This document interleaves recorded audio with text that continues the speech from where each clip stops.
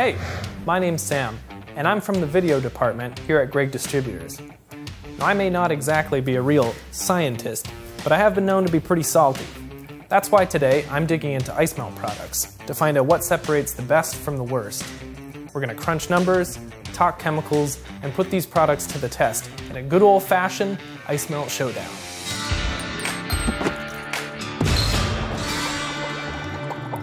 Ice melt works by using a chemical or a blend of chemicals to depress the freezing point of water, both preventing and destroying ice buildup at the molecular level. Salt, or sodium chloride, is the most common component of ice melt, and it disrupts the formation of ice by bonding with the water molecules and lowering the freezing point of water. That's why many ice melt brands are actually 95 to 99% salt. But by itself, it's really only effective down to about minus 10 or minus 15 degrees Celsius, depending on who you ask. There are tons of different additives that can go into an ice melt blend, like potassium chloride, sodium acetate, and others, all with their own pros and cons. Always be sure to check the safety data sheet of the product you're considering to see what they have in their blend before you make your choice. More on that later. The real hero of the ice melt world is calcium chloride. Unlike salt, which needs to be in contact with moisture before it can begin de-icing, calcium chloride absorbs moisture from the air, allowing it to start reacting much faster. And unlike salt, which actually makes the ice colder, calcium chloride reacts with water exothermically, which means it physically gets hotter as it releases energy in the chemical reaction. With the right combination, these salt and calcium chloride blends can melt effectively at much colder temperatures while causing less damage to concrete and the environment than pure salt. What I'm hoping to prove in our testing today is just how much of a difference calcium chloride makes by stacking up these competitors against Yukon Gold, a brand we carry right here at Gregg's. So let's put these ice melts to the test and see what shakes out.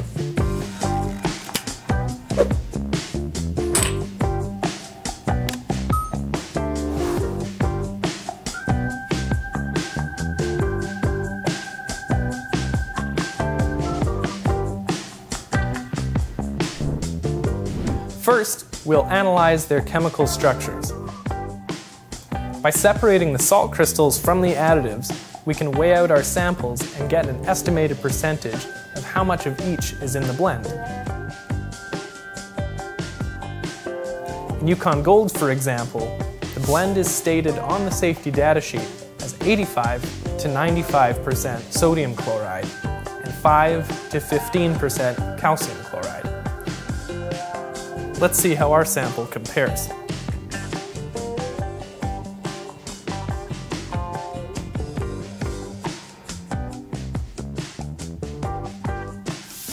It contains 2.8 grams of calcium chloride, or 14% of the blend, and 17.2 grams, or 86% salt. For comparison, Polar Plus is another more consumer-grade ice melt we carry from Keg River, whose safety data sheet states it contains 90 to 95% sodium chloride and 5 to 10% calcium chloride. Let's see how the competitors stack up. First up is brand A, a premium brand, but their blend is proprietary.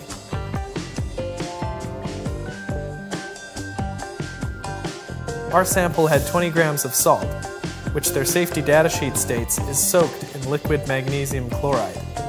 Then only three prills of another additive, either urea or magnesium chloride. Next we have brand B, another premium brand.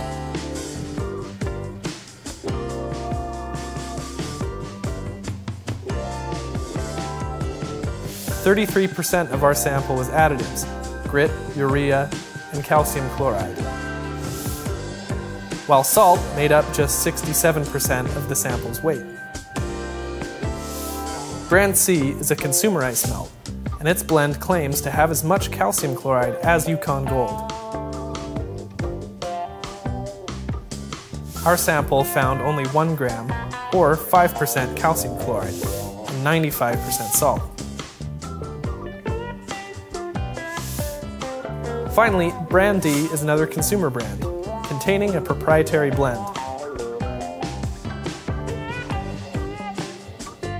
Our sample measured 1.2 grams of additives, a combination of magnesium chloride and calcium magnesium acetate, and 94% sodium chloride. To understand a bit more about what's going into these blends, we're going to have to get a little Breaking Bad up in here. Some brands will advertise their blend as corrosion inhibited by including a chemical called CMA or calcium magnesium acetate in their mix. That said, you only need about 1% of this chemical to claim that your blend inhibits corrosion. In reality, one company who manufactured CMA states that you need at least 20% CMA in the blend to reasonably claim that it has corrosion inhibition. So don't believe everything you see on the label and always do your homework. I always did. Look how I turned out. Enough of the numbers. Let's see the stuff in action. We're going to take 10 identical trays filled with 50 milliliters of water and freeze them at the same time.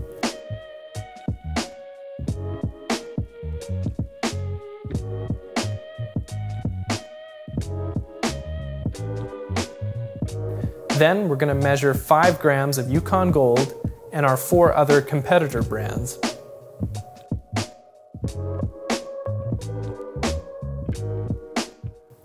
Now that our ice is ready, we'll apply the ice melt doing two tests of each.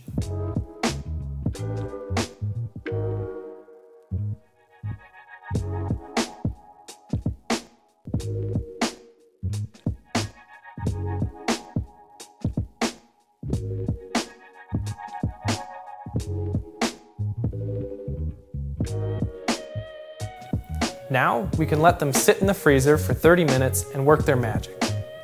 Taking the average result of the two tests, we'll crown our winner. So I'll see you in 30 minutes.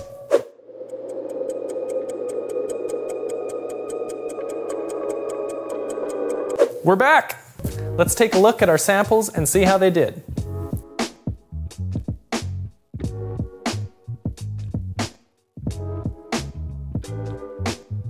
As you can see, Yukon Gold has the best results, with A and B, the premium competitors, and C and D, the consumer level products, coming in significantly less effective. Some of them barely melted any ice at all. In conclusion, investing in a quality ice melt is going to save you time, money, and labor in the long run. Having a stronger product means less material to handle, less volume for you to store, and less ice melt to haul out to sites. It also means having to do less applications since the stuff works fast and works right the first time. Trust me, I'm a Canadian. I know that nature is trying to kill us six months out of the year, so why not make sure that slipping on ice is the last thing you need to worry about this winter? Thanks for tuning in. I'm Sam, and we'll catch you on the next Gregg's Test Table.